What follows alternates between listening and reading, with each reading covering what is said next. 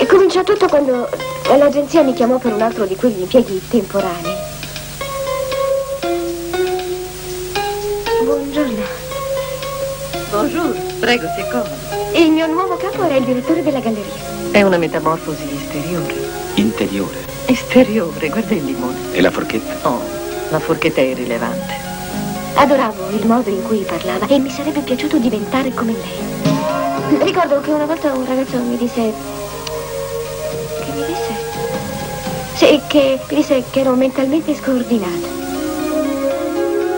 Salve! La prego, continui pure a parlare. Non si preoccupi. Faccio solo due passi. Ah, la vita è proprio la cosa più strana che esista. Eh sì.